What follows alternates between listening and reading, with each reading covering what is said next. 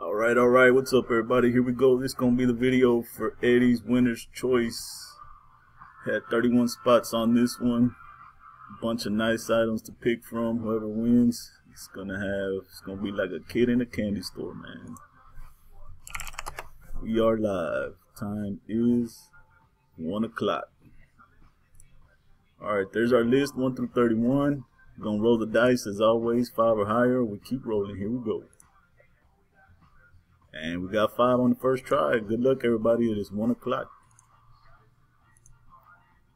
That's one, two, three, four. After four, we got Jason Smith on top of spot 10. It is one o'clock, about to be 101. Last and final time. Good luck, everybody. And Jason Stroud is our winner with spot number five. There's our timestamp 101 verification code. And again, our winner is Jason Stroud with spot five. Congratulations to you, bud. Thanks everybody for playing. And as always, we are done. Final timestamp 101. Thank y'all.